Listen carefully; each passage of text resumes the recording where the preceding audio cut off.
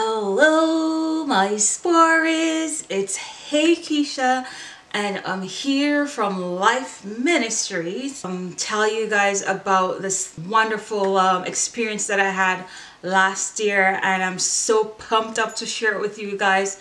Hope you guys enjoy this segment. Um, if you have not followed me before or to my channel, please, please go ahead and subscribe.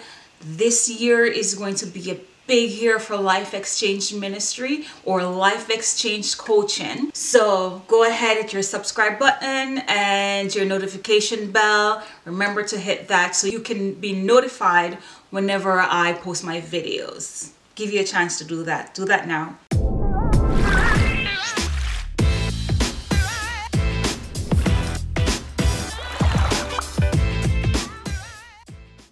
So guys, I'm so excited. Um, just so excited, overjoyed to let you guys know what has been going on.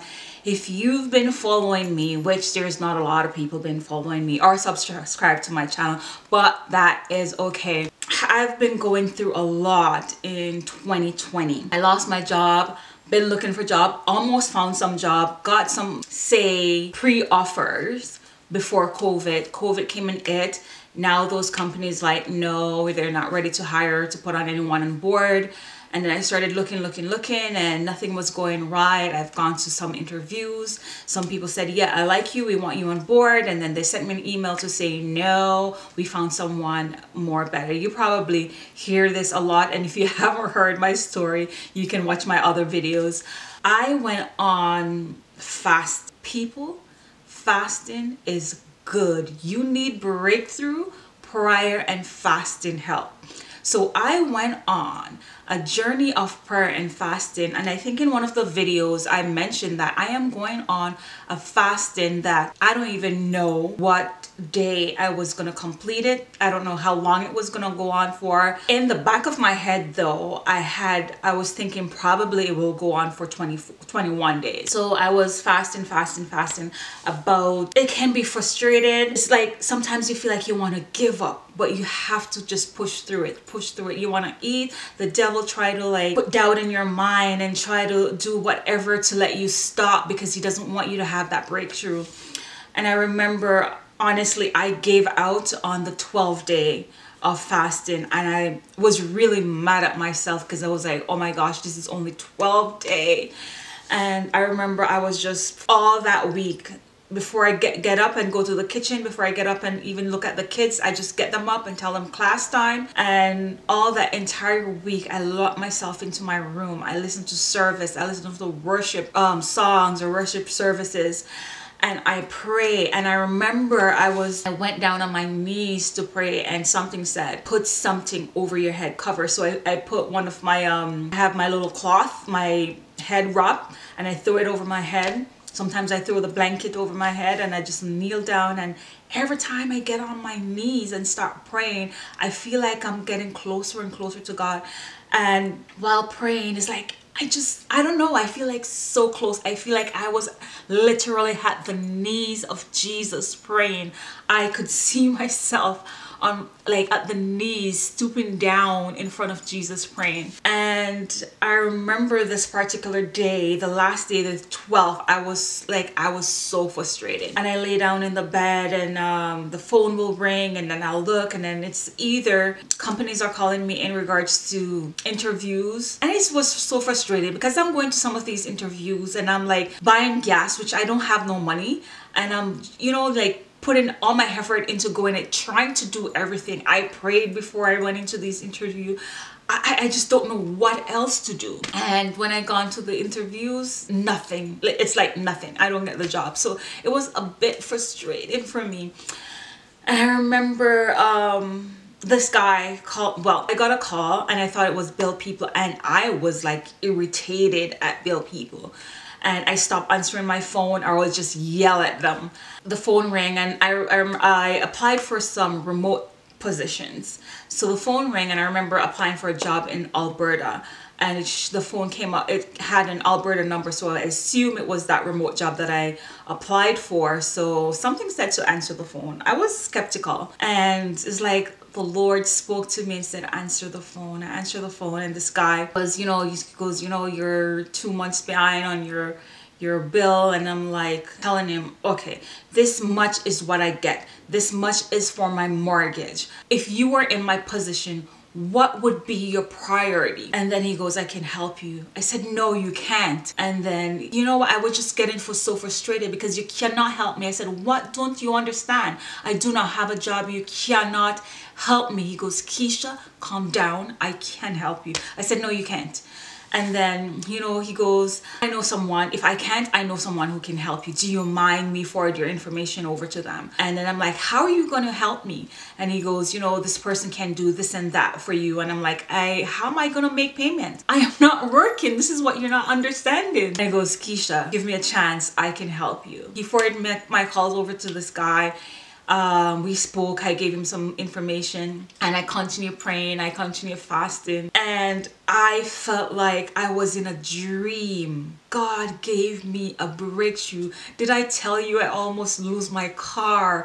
Bailiff was coming to my house to take the car away. Knocking the door, I had to literally hide my car over blankets, park it in the garage, throw a blanket over it, pretend as if it was, pretend as if I wasn't living at my house. I was renting it to someone else and this is not me because I didn't want it for them to take my car. Where I live, there is no bus, there is no taxis.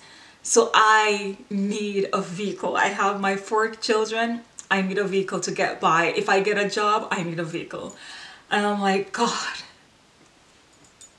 this is where you need to step in. You said you will never leave me, neither you will you forsake me. God, you took me out of the city where there is bus, there is taxi, and you brought me here. And I know you brought me here for a reason. And I was just so ashamed because I was wondering if my neighbor sees what was going on. There was bailiff, there was um tow truck people in my driveway ready to come and take the car away. Oh Lord. I had to pay some money, take money from the mortgage that I have to pay my mortgage to pay the bailiff guy, not to pay the bailiff guy, to pay the car company, the bank. And when I called my um, the bank that I have my mortgage with, just asked them if I could please, if you could please defer my mortgage for one month so I can get caught up. And I and they already knew I wasn't working or anything. And they said if you miss a payment, if you miss a payment, we're gonna foreclose your home. Foreclose repossession. Oh my gosh i'm like god you have to step in i went back and i fast and i prayed and i cried and i fast and i prayed and i cried and i fast and i prayed and that day again it was just forceful i'm like mixing up my story but that day the 12th day of my fasting when i gave up because I'm getting emails from this company that they're going to repossess the car. I'm getting emails back and forth from the bank that I have my mortgage with that they're going to foreclose if I miss and I am going to miss. Why? Because I put that money onto the car. And the guy said, called and he said, this is what we're to do, blah, blah, blah, blah, blah. How much? My house that I bought in February of last year doubled in price. And let me tell you something before I even go even further. I lost my job in February. February, my breakthrough was in November. October, I, um, I was fine. February, March, April, May, June, July, I was fine. I had some savings, had that I was living off of. I, I was fine. And I think maybe I've overspent during that time when I had my, because I was confident I was going to get a job soon because I've never been out of a job for too long.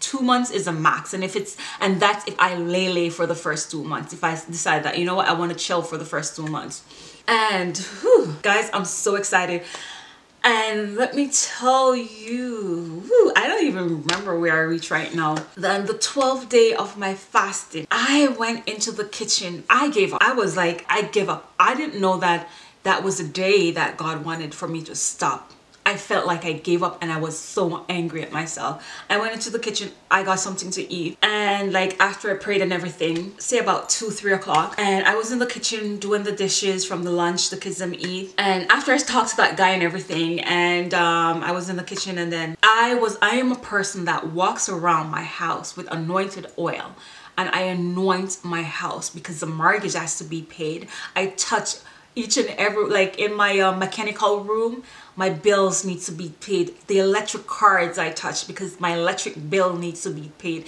The eater i touch because the eat like the gas in my house needs to be paid and I claim those stuff as I go around in the house. And I went I, outside of the house the perimeter of the house and then I touch it with the oil in my hand. Like I've been doing that ever since I moved in. So the scripture came to me greater is E that is in me than E that is in the world.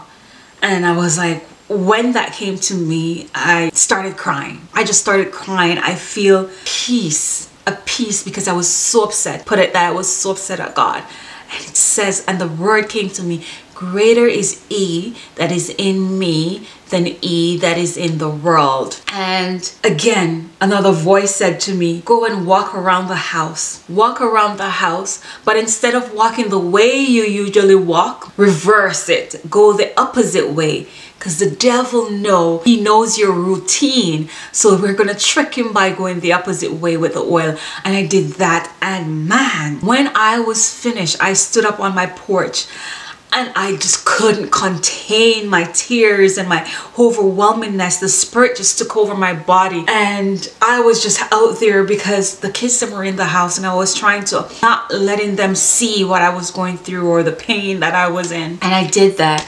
That that was probably the 11th day. Yeah, probably the 11th day that I did that or the 12th day either the 11th or the 12th, 12th day that I did that. As I said, I have a conversation with this man that this guy put me through and we talk. I don't want to rumble on for too much, but guys, fasting and prayer fasting and prayer, build a relationship with God, read your Bible. I am here to tell you guys that today, not even today, but November, I would say around November 11th, November 11, November 19, November 19, my mortgage has been paid in full. What I mean, my mortgage has been paid in full. I don't have to pay mortgage every month. I don't have to pay mortgage monthly.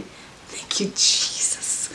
My mortgage debt has been paid off in full. My car payment that they wanted to repossess is paid off in full. I have no car payment paying off. Some of my credit card has been paid in full. There's some that I'm making payment right now.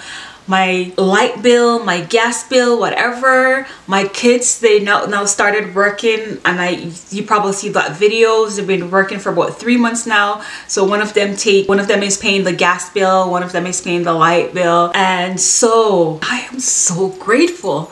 Like God, I, I wrote on my Facebook page when I was going through this that God is going to blow my mind. I don't know if I speak it into existence, but I said He's going to blow my mind. And this is the second time for 2020 that my mind was blown away, that God blew my mind away. He said He will do exceedingly, abundantly, above all that you can even think of or imagine. I did not imagine that my mortgage for my house will be paid off in full. I could not imagine that my mortgage will be paid off in full as in not my December mortgage. I'm not paying when I said I'm not paying any mortgage. I am not paying any mortgage. When I said I have no car payment to make, I am not. It's all being paid in full. God used a bill person to call me. He uses that guy to call me to send and uh, to give me a breakthrough. And the funny thing is when the person that he put me through, he goes, how long have you known Ben? I've never met Ben before. I didn't even know his name was Ben. And I'm like, who's Ben? And he goes, the guy that put you through to me. And I said, I don't know, Ben. He called me for a bill payment, which I couldn't even pay. I don't know. I, I may have to find out who this Ben is. I may have to um, track it back, but God uses him to give me that breakthrough. I gave up that day. I completely gave up. I and God put the word greater is he that is in me. When I said, God, you said you will never leave me, neither will you forsake me. Now you left me. Now when I needed you, right when I needed you, you leave me. and I went downstairs and I started eating because I get frustrated. I cut. And then I was like 12 days, 12 days, 12 days of 12 days of fasting and prayer. 12 days. Never heard of that. It's either 3 days, 7 days or 21 days. I'm like, what does this mean? What does this mean? And I went and I was watching TV one day and a pastor was preaching and I think God uses that pastor, Pastor Keion Henderson.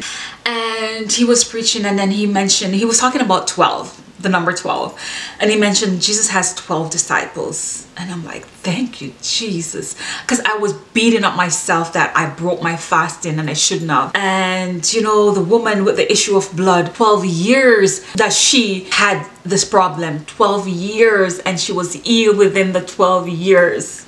And um, the little girl that was six, she was 12 year old the one that jesus healed. She was 12 year old that they thought that she died. She was 12 and i was like thank you jesus thank you. 12 days of fasting. Guys whew, you will feel like you want to give up but don't give up. And this is why i I kept looking for jobs and I couldn't find it. And God spoke to me. And this is why I am doing coaching program that I'm do that I business that I started this month. Because I have experienced this. But if I had like a coach with me to just cheer me on like I talk to friends and I talk to family but it's just negative stuff. It's like it's just pure negative stuff. It's like their thoughts and mine was different. And even God said in, in his in the Bible in this word he said your thoughts is not my thoughts and and my thoughts is not your thoughts. And their thoughts at the time wasn't my thoughts. And like they're thinking all kind of stuff. Oh I have an extra room here if you want to come. Like I don't want to hear that so you know i just started started this coaching business where i just want to encourage people and i want to just sit with them through through that breakthrough through their for them to get their breakthrough for my clients to get their breakthrough i want to be able to help someone to get closer to God. I want to be able to help someone to get their breakthrough, their financial breakthrough when they're no longer paying for their mortgage, when they're no longer paying for car payments. Those are the biggest bills like i yes i have to pay my gas my lights and you know my water. No i don't pay water bill. My water is free. Those are the biggest and most like, it feels like a whole weight was lifted off of me. And the devil is works in a way where even though all of those was paid off he was coming at me with different things. He started to put different fear and different doubts of stuff in my mind. And then i realized that you just don't want me to be happy, right? You just don't want me to be happy. So you know what I did? I signed a contract and I said, you have no, I give the devil an eviction. You have no room in my house. You have no room in my heart, in my children's heart. You have no place in this town that I live in. No, I give him a eviction notice. And ever since I gave him a eviction notice, I, I just, every day, I just keep on reminding myself, like, no, no room in my heart, no room in this house. You are evicted. Yes, you are. I divorce you. You are so long gone. Like, I don't need you in my life. Guys, if you need my help, I'm telling you this. I have a coaching business and I can help you. I also have thing where I want to be able to help someone. Every three months, I want to give. I want to give because Ben gave to me.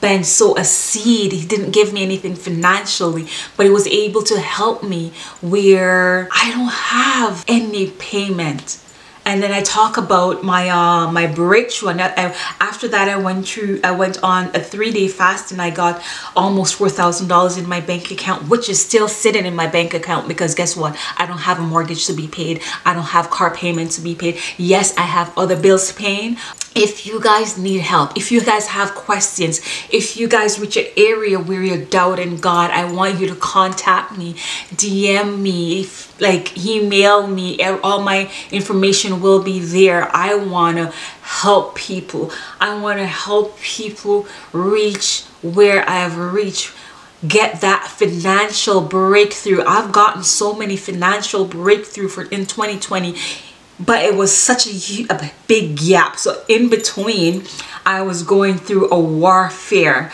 So I got my house and that's another story that I keep talking about. And at the end of the year, I got the house paid off in full and my car paid off in full. What else can I ask God for? A financial breakthrough. And now He's putting me into the path where I'm able to pursue the career. So I didn't want it to cut it into two videos. So this is where I'm to stop. I hope you guys have a great day, a great week, and a great month and a prosperous year. See you in my next video.